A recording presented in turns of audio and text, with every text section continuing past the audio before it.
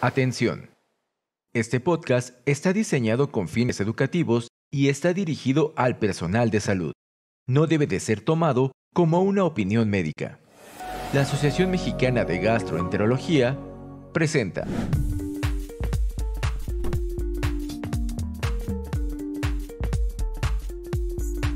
Gastroperlas AMG, conducido por el doctor Jorge Roldán.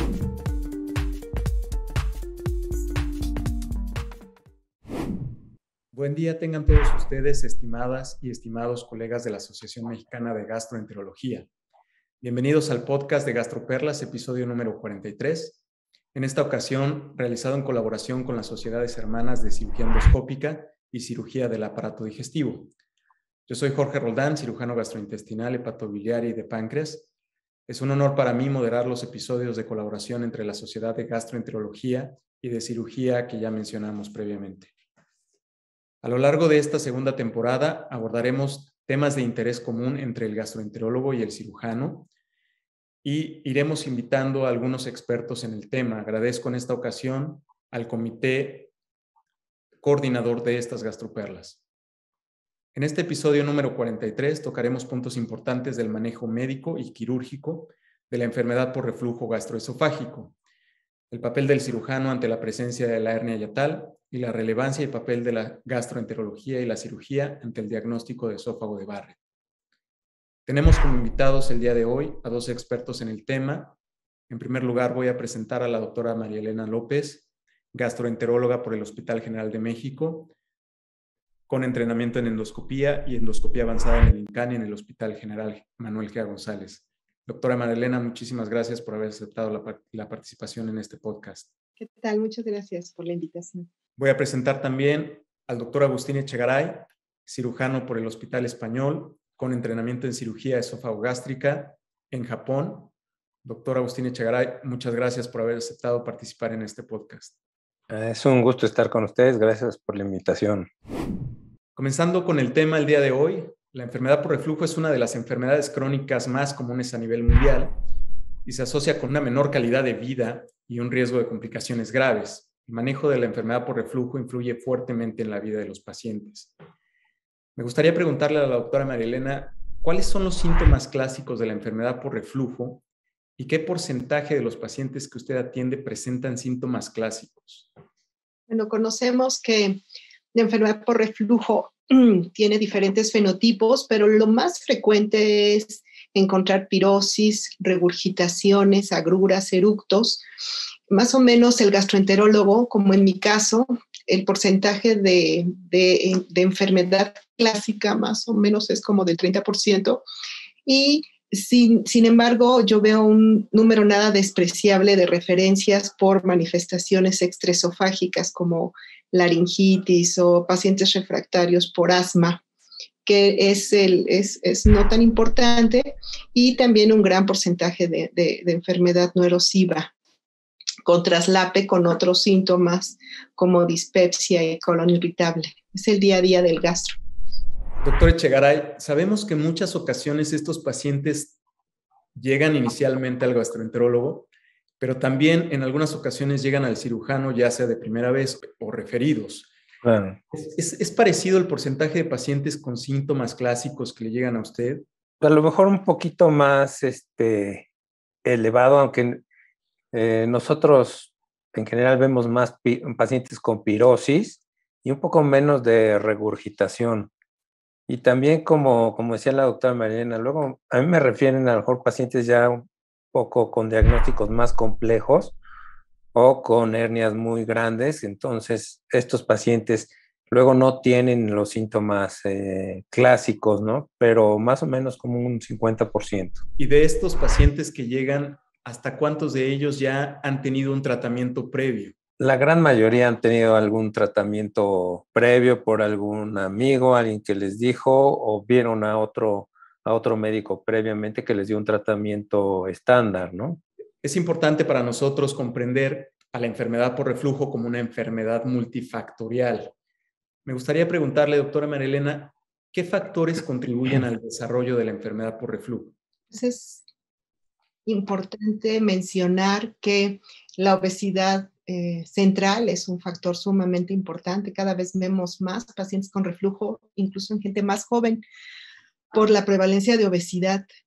Eh, otro factor importante es el, el tabaquismo. Se ha visto también cierta predisposición genética y ya después tenemos algunos otros como eh, algunos otros trastornos motores, el uso de, medicación que predispone las relajaciones transitorias del esfínter, pero yo podría considerar que el estilo de vida, la obesidad, el, tabaquismo, eh, son los factores más importantes. Bien, entonces consideraremos eh, a la obesidad, al tabaquismo y algunos factores genéticos quizá en un lugar un poquito más apartado como los principales factores responsables de la enfermedad por reflujo.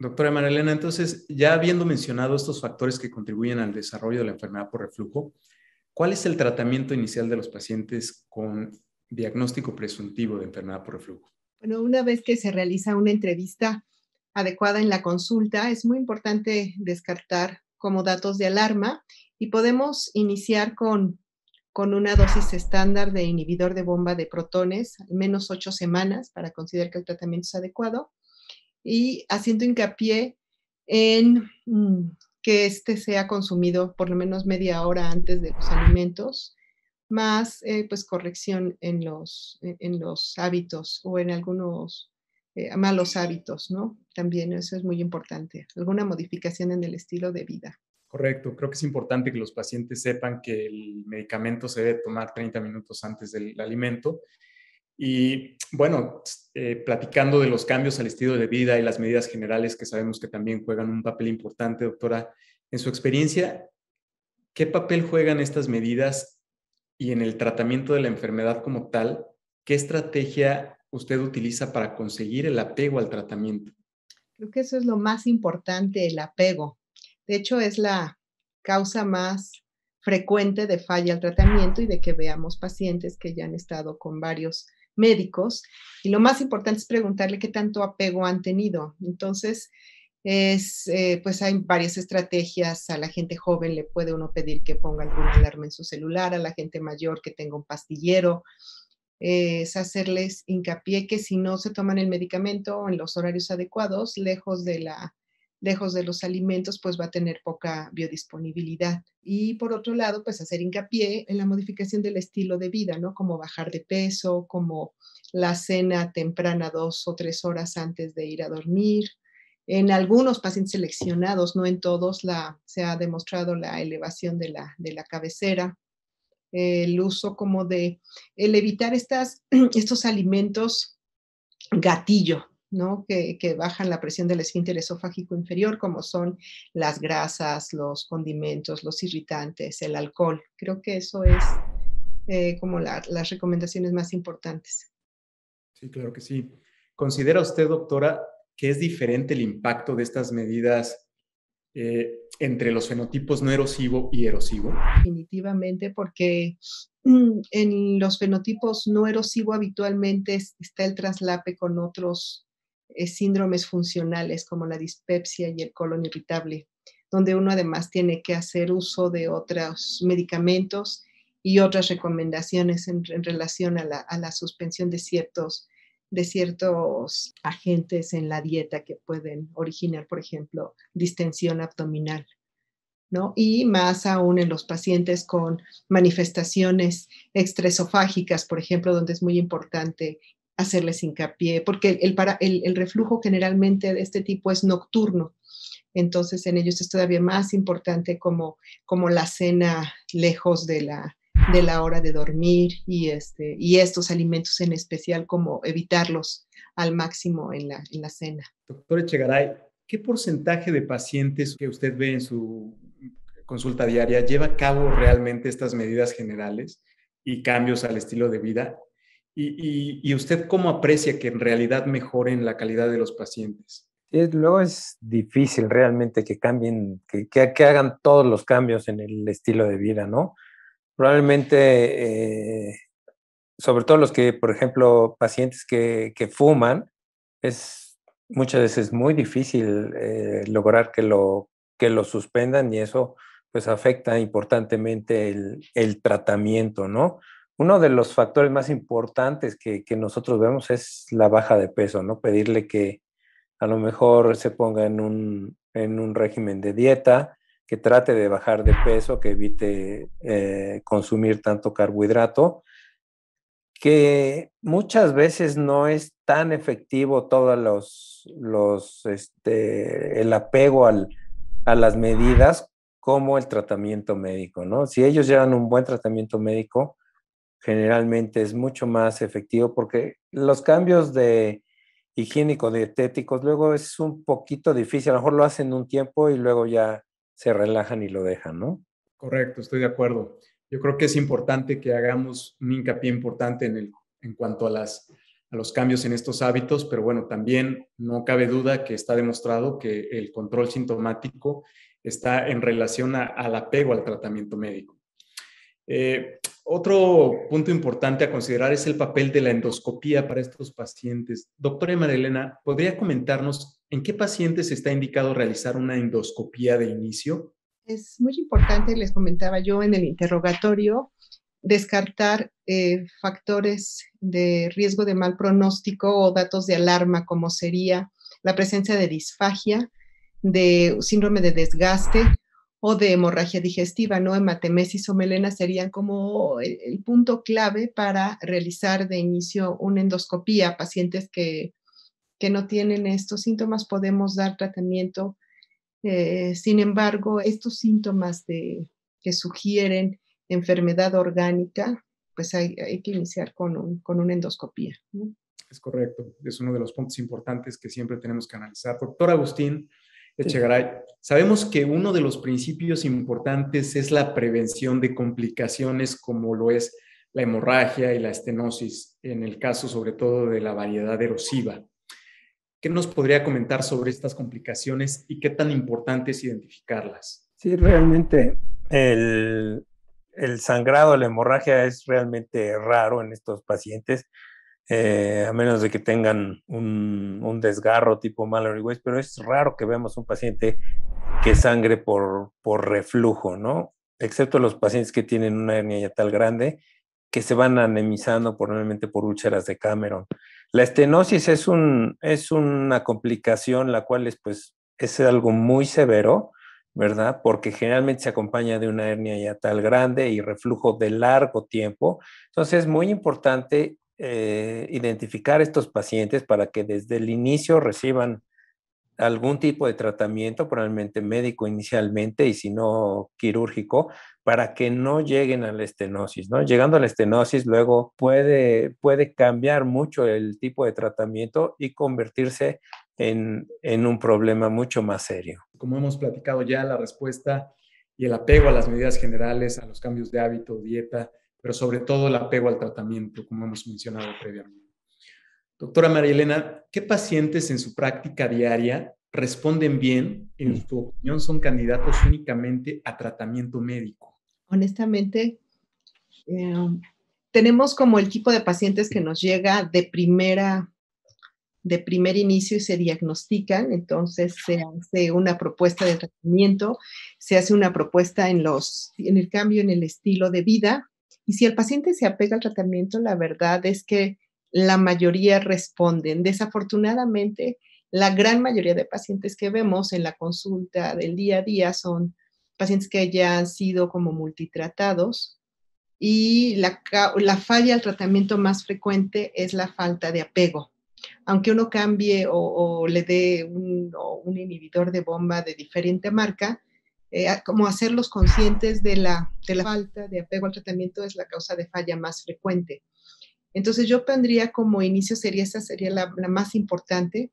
La segunda sería el traslape con otros trastornos funcionales digestivos. Eso también lleva a falla del tratamiento, como la dispepsia, retardos en el vaciamiento gástrico, por ejemplo, eh, la distensión abdominal. El traslape es como sumamente frecuente.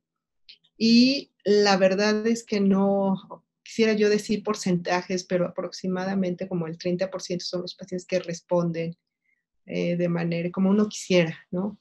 Al, tratamiento, al tratamiento médico. En, este sentido, eh, quería yo abundar un poco sabemos que va a haber pacientes que sí responden bien y tenemos otro tipo de estrategias también. Eh, doctora, tenemos algunos tratamientos endoscópicos que se enfocan exclusivamente en mejorar la barrera antirreflujo. ¿Qué nos puede comentar de estos tratamientos endoscópicos? Bueno, está la cirugía antirreflujo, evidentemente.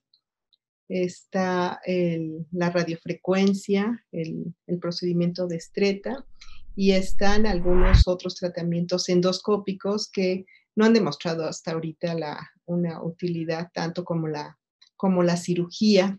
Y habitualmente estos son para casos seleccionados. Yo siempre digo que el tratamiento quirúrgico es para un paciente muy bien seleccionado, que seguramente al ratito vamos a comentar de eso.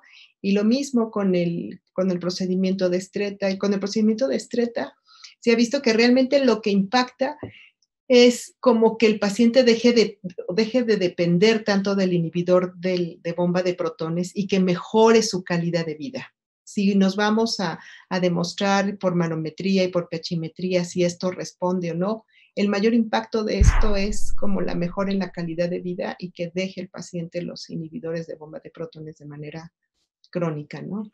Sin duda, y yo creo que aunque hay muchos estudios que han intentado comparar, efectivamente, eh, los tratamientos endoscópicos ofrecen una alternativa en cierto tipo de pacientes muy, muy seleccionados. en, el otro lado tenemos los tratamientos quirúrgicos. Y en este sentido, doctor Echegaray, ¿podría platicarnos en qué consiste el tratamiento quirúrgico para la enfermedad por reflujo?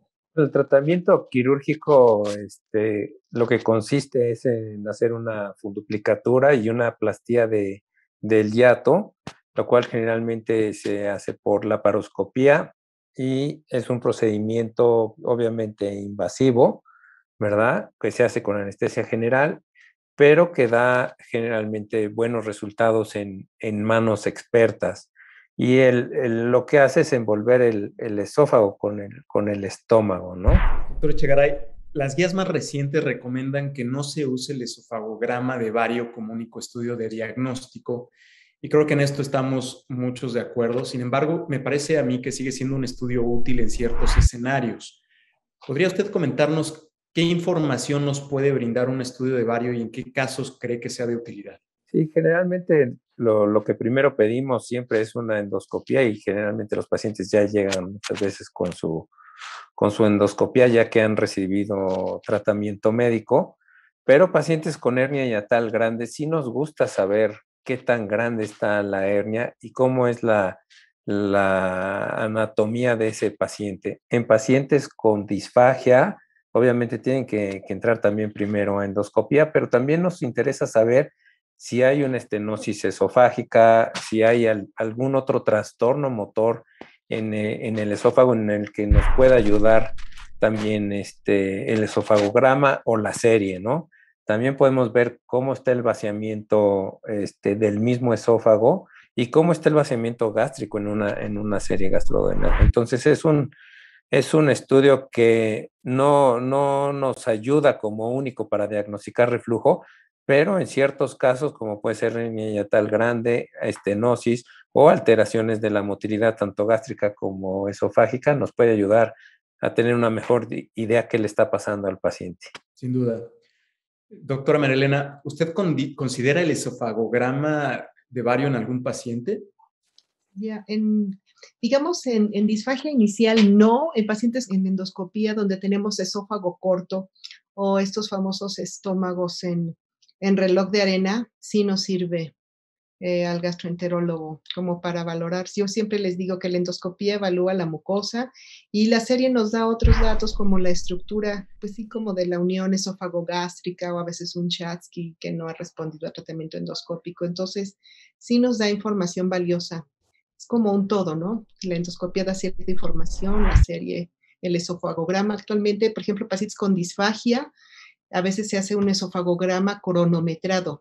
Es como muy importante, incluso en pacientes, por ejemplo, con Parkinson, que no nada más hacemos el esofagograma, sino toda la cinética de deglución, sobre todo luego en los que tienen algunas manifestaciones estresofágicas, Entonces, desde, la, desde el mecanismo de deglución hasta el esofagograma cronometrado nos brinda información diferente que complementamos obviamente con la endoscopía y en tocas una manometría.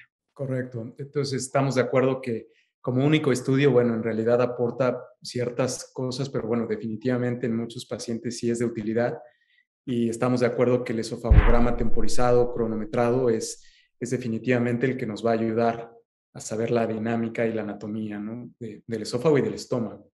Contamos, por otro lado, también con algunos otros estudios que nos brindan diferente información. Quisiera preguntarle, doctora Marilena, ¿con qué frecuencia y en qué pacientes considera realizar estudio de manometría? No, la manometría esofágica hay que recordar que no es un estudio que diagnostique reflujo, porque eso es algo muy común. A veces nos mandan manometrías para determinar la presión basal del esfínter y esto que correlacione con la enfermedad por reflujo. Si recordamos en la fisiopatología del reflujo, lo más importante son las relajaciones transitorias del esfínter esofágico inferior y, la manometría es un momento estático. Entonces, solamente decir que tiene el esfínter hipotónico no necesariamente quiere decir que el paciente tenga reflujo.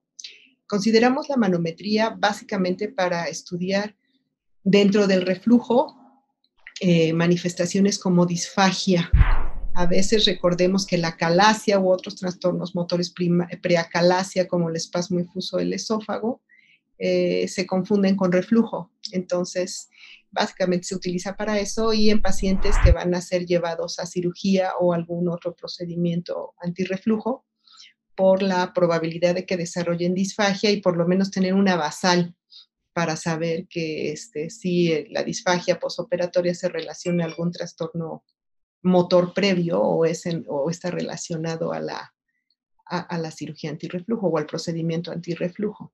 De acuerdo. Doctor Echegaray, en este sentido, eh, ¿la manometría le brinda alguna información relevante que sea de importancia para la planeación de la cirugía antirreflujo? Obviamente, no.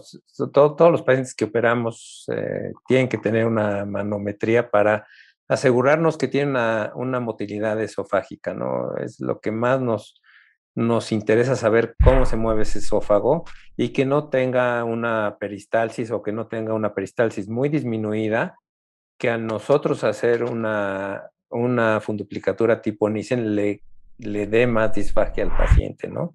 Entonces es un, e, e, es un dato que nos ayuda mucho y también, bueno, a veces se puede confundir el diagnóstico de reflujo con una calasia que apenas está empezando. Entonces, no queremos meter a, una cirugía mal indicada en estos pacientes, pero siempre, este, como dice la doctora Marilena, no es un no es un estudio para diagnosticar reflujo, pero todos los pacientes que eh, deben de eh, tener tratamiento quirúrgico deben de tener una manometría previa. De acuerdo. De hecho, las guías más recientes eh, de la Asociación Americana recomiendan que durante la evaluación preparatoria del paciente que se va a someter a cirugía debe incluir endoscopía, manometría y pHimetría. En este sentido, eh, ¿qué pacientes considera que son adecuados candidatos para tratamiento quirúrgico, doctor Echegaray?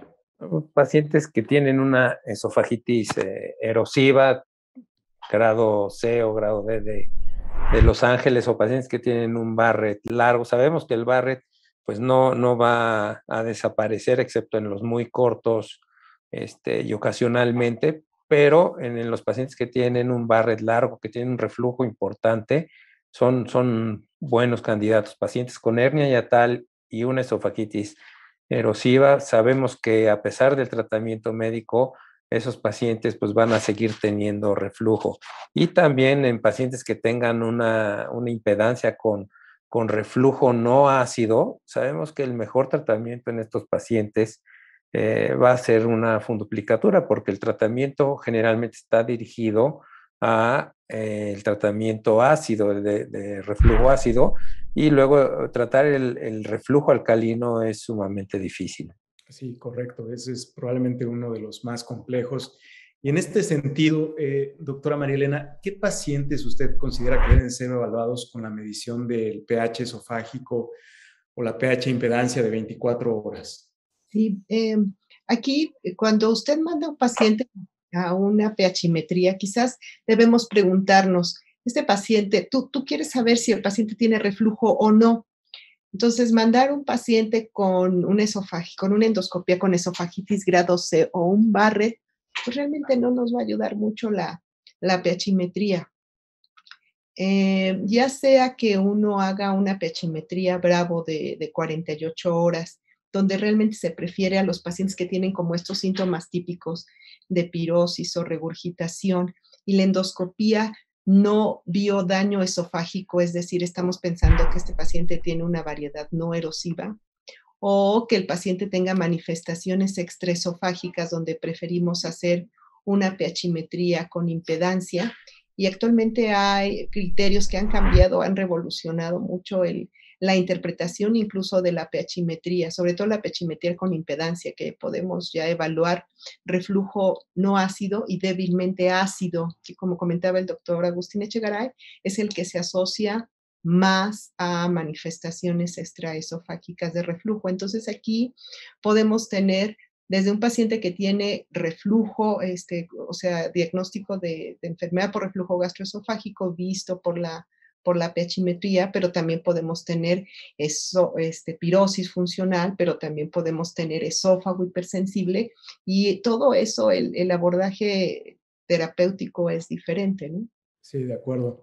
Y me parece a mí que es bien importante que sepamos la indicación de cada uno de estos estudios y bueno, en algunas ocasiones también, como usted bien comenta, en una esofagitis severa, en un esófago de Barrett, en realidad ya poca información útil extra nos añadirá a este tipo de pacientes. Me gustaría preguntarle, doctor Chegaray, ¿cuál es el papel de la hernia yatal y en qué porcentaje de estos pacientes que usted valora con hernia yatal se presentan con sintomatología de reflujo? Sí, generalmente los pacientes vienen por reflujo y durante la endoscopia encontramos que tienen una hernia yatal, ¿no? Sabemos que es un factor que facilita el reflujo, más no es la causa única por la cual el paciente tiene, tiene reflujo, ¿no? Estos pacientes eh, vienen por reflujo, se diagnostica una hernia yatal en endoscopía y bueno, sabemos que, estos pacientes eh, probablemente si tienen una esofagitis erosiva van a ser buenos candidatos para, para cirugía, ¿no? Y en este sentido, eh, la cirugía para hernia yatal es diferente del procedimiento antirreflujo? cuando hacemos una cirugía antirreflujo siempre hacemos una plastía de, de yato porque se, se, rompe parte de la barrera de la barrera antirreflujo anatómica que tenemos de la membrana ferenoesofágica.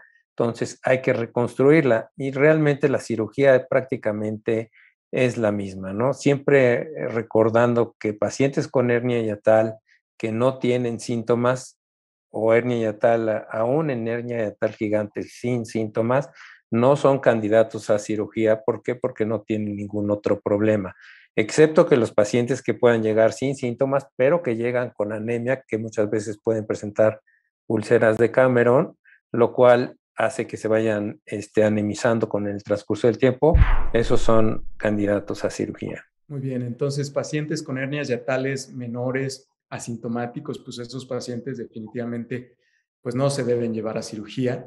Así es. ¿Y cuál es la diferencia entre una funduplicatura parcial o total y qué diferencia tiene para los pacientes optar por una u otra técnica durante la cirugía antirreflujo? En nuestro más bien es como decisión del, del cirujano, ¿verdad? La gran mayoría de los cirujanos prefiere una una funduplicatura total de 360 grados a una parcial, porque sabemos que a lo mejor la duración de, la cirugía va a, ser, va a ser mayor a largo plazo. Y sabemos los pacientes que tienen una alteración importante en la motilidad, que tienen una peristalsis o una, una motilidad muy deteriorada, a lo mejor sí, es, eh, sí se puede eh, indicar una una funduplicatura parcial en estos pacientes para que no tengan disfagia posoperatoria. Pasaremos entonces a la última parte de esta plática. Eh, nos vamos a enfocar a uno de los fenotipos quizá de más relevancia por su potencial maligno. Doctora María Elena, ¿nos puede platicar un poco en qué consiste el esófago de Barrett y qué pacientes con enfermedad por reflujo pueden llegar a desarrollarlo? Sí, el esófago de Barrett es la sustitución, por lo menos de un centímetro en longitud, digo, hay varias definiciones, algunos dicen que lo importante son dos o tres, del epitelio escamoso del esófago por metaplasia intestinal. Eh, la importancia del esófago de Barrett es que es una entidad que predispone al adenocarcinoma de la unión esófago-gástrica.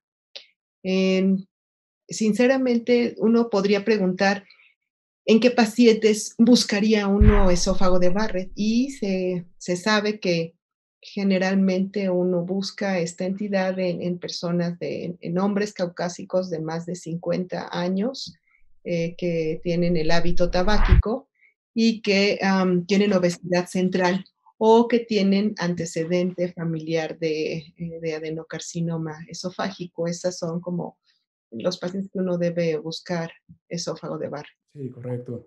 ¿Cómo realiza el diagnóstico de esófago de Barrett, doctora? ¿Y cuál es el tratamiento médico? Bueno, es muy importante en una endoscopía en la evaluación del paciente con reflujo revisar por lo menos 30 segundos la unión esófago-gástrica con luz blanca al menos.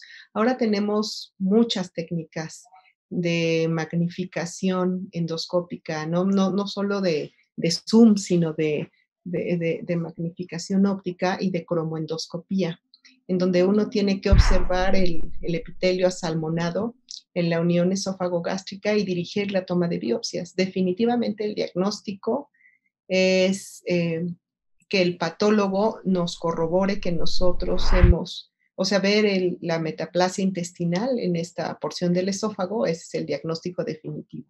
Sin duda, el diagnóstico nos los va a dar la biopsia. Eh, sabemos que en la actualidad también hay algunas modalidades de tratamiento endoscópico para el esófago de Barrett. Doctora, eh, ¿qué nos puede comentar sobre el tratamiento endoscópico ablativo? Eh, actual, hace tiempo se propuso alargón plasma en otro momento tuvimos, tenemos ahora la, radiofrecuencia y también la crioablación. el objetivo de estos tratamientos es básicamente la ablación del epitelio metaplásico y la sustitución mediante un terreno prácticamente sin ácido con inhibidores de bomba de protones para la repitelización con eh, mucosa escamosa normal. Eh, actualmente, donde más se ha estudiado esto es en displasia. Eh, los tratamientos aceptados son en displasia de alto grado y en algunos casos seleccionados en displasia de bajo grado. Todavía no está como muy popularizado o muy aceptado en las guías eh, o, en los protocolos la ablación simple y sencillamente del, del esófago de Barrett, sino es cuando ya hay displasia de bajo grado o de alto grado con estos métodos de ablación. Se dan varias sesiones, depende de la longitud del Barrett, con determinados eh, aplicadores, ya sea circunferenciales, y, y con la crioablación con buenos resultados. Los pacientes entran a seguimientos, eh, más o menos la periodicidad de este tratamiento es una, una, una, sesión cada tres meses hasta que se logra la ablación del, del, del ¿no? Sí, sin duda. Y creo que en este sentido es bien importante que busquemos que el patólogo nos reporte, aparte de la metaplasia, si hay presencia de displasia. Doctor Echegaray, sabemos que también la cirugía, bueno, tiene un papel en, el tratamiento del esófago de Barrett. ¿Cuál considera usted que es el papel de, la cirugía en el tratamiento del Barrett? Bueno, sabemos que la causa del Barrett pues, es el, el reflujo y obviamente pues eliminamos el, el agente causal en, estos casos, ¿no? Sabemos que, el Barrett se va a quedar ahí en la gran mayoría de los casos y sobre todo si es un Barrett largo, ¿verdad? Pero sobre todo para quitar eh, los síntomas en estos pacientes, ¿no? Es importante que estos pacientes continúen, a pesar de ser operados, que continúen con un seguimiento importante este, endoscópico para este, ver si no evoluciona a una, a una displasia. De acuerdo. Y sabemos que el principal objetivo es que no evolucione a un, cáncer. Sin embargo, en algunas ocasiones podemos ver una reversión de esta metaplasia. Eh, ¿En qué pacientes, hasta en qué porcentaje de pacientes llega usted a ver esta reversión de la metaplasia? Es pequeño y solo lo vemos en, en Barrett cortos, ¿no? Lo, vemos, pero es prácticamente como de un 10% de los pacientes que podemos decir, bueno, ya en la endoscopía las biopsias salieron sin, sin Barrett y entonces podemos estar tranquilos, pero aún si una vez tuvo Barrett, va a tener que seguir teniendo seguimiento porque puede ser que, que se haya pasado por alto en alguna de las endoscopías y no biopsiar en, en la zona donde tiene el Barrett, ¿no? Correcto. Entonces, después de una cirugía o de un paciente que estuvo en tratamiento endoscópico eh, o tratamiento médico y que, el, que fue efectivo para, para controlar los síntomas, el Barrett en muchas ocasiones pues persiste. en este sentido, una de las cuestiones importantes es la vigilancia eh, endoscópica. Doctora María Elena, una vez que se ha decidido ya el tratamiento y el paciente está en tratamiento, ¿cuál es la recomendación de vigilancia endoscópica? Pues en, en pacientes con esófago de Barrett se recomienda siempre y cuando no se haya diagnosticado displasia previamente el seguimiento de 3 a 5 años. Eh, realizar una endoscopía nuevamente, revisando todo el segmento de, Barrett. Recuerden ustedes que hay una clasificación de Praga para definir la longitud y, y, la circunferencia del Barrett. Y anteriormente decía uno que tenía que biopsiar cada dos centímetros de manera circunferencial todo el segmento de Barrett. Sin embargo, la tendencia actual es más bien hacer una endoscopia de magnificación y buscar áreas que sugieran displasia con irregularidad de los vasos sanguíneos. Eso es mejor que, tomar las biopsias al azar, pero eso se debe hacer cada de tres a cinco años, siempre y cuando no exista displasia. Si existe displasia, depende si es de alto o de bajo grado, bueno, ya se toman otras, eh, este, pues otras medidas de seguimiento. De acuerdo, entonces en este sentido, repetimos que lo más importante es solicitar a nuestro patólogo que nos reporte, aparte de la metaplasia, la presencia de displasia. Y en base a eso, pues probablemente los pacientes con displasia, eh, pues tendremos que definir a cuáles pacientes tendremos que seguir con, con un menor tiempo o más estrecho tiempo, ¿no? Les agradezco a ambos eh, su participación y su colaboración a este episodio de Gastroperlas. Eh, que concluiremos eh, pidiéndole a cada uno de nuestros dos invitados que nos regale sus dos gastroperlas. Si gusta empezar, doctora Marilena, usted. Sí, pues es como muy importante recordar a la enfermedad por reflujo gastroesofágico como, como una enfermedad con diferentes fenotipos y que la verdad, honestamente, la mayoría de nuestros pacientes son como refractorios a los inhibidores de bomba de protones. Y recuerden ustedes considerar como otras opciones de tratamiento como los neuromoduladores, que generalmente se utilizan en, las variedades no erosivas y con la superposición de, otros trastornos funcionales digestivos. Y la otra opinión es, eh, consideren ustedes que eh, si bien afortunadamente cada vez vemos menos complicaciones de la enfermedad eh, por reflujo gastroesofágico como las estenosis, que eran terribles antes del advenimiento de los inhibidores de bomba de protones, y hay un porcentaje de pacientes con hernias muy grandes que vemos que la complicación más frecuente es anemia. Yo he tenido pacientes que incluso llegan como referencia a cápsula endoscópica y lo que realmente está sucediendo es que tienen estas úlceras eh, de Cameron crónicas que las desprecian durante los estudios de endoscopía y que realmente, sobre todo en pacientes de edad avanzada, que además están anticoagulados y con, y con, o con antiagregantes o que tienen que utilizar crónicamente antiinflamatorios no esteroides, es una causa muy frecuente de, de anemia nada despreciable. Muchas gracias, doctora. Doctora Echegaray.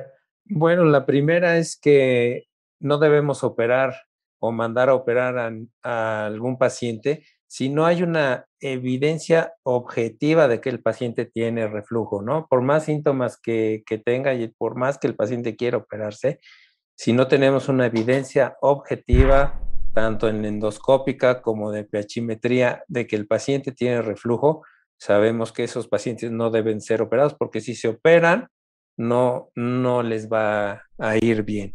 Y la segunda es que hay que estudiar perfectamente bien a los pacientes eh, cada paciente requiere diferentes este, estudios, pero obviamente por, lo menos sí debemos de tener los estudios básicos para que eh, la cirugía nos, nos dé un buen resultado y el paciente quede con un alto índice de satisfacción. Claro que sí. Pues agradecemos nuevamente a la Asociación Mexicana de Gastroenterología y en este caso, en este episodio con las sociedades hermanas, queremos compartir estos episodios que se van a estar eh, publicando a lo largo de este año, donde también hay que resaltar algo importante, la colaboración entre el cirujano y el gastroenterólogo, que debe de, que debe de ser importante para, para, para el bien de nuestros pacientes. Muchas gracias a nuestros invitados. Muchas gracias por la invitación. Buenas noches. Esto fue Gastroperlas AMG. Los esperamos en la próxima emisión. La Asociación Mexicana de Gastroenterología presentó. Atención. Este podcast está diseñado con fines educativos y está dirigido al personal de salud. No debe de ser tomado como una opinión médica.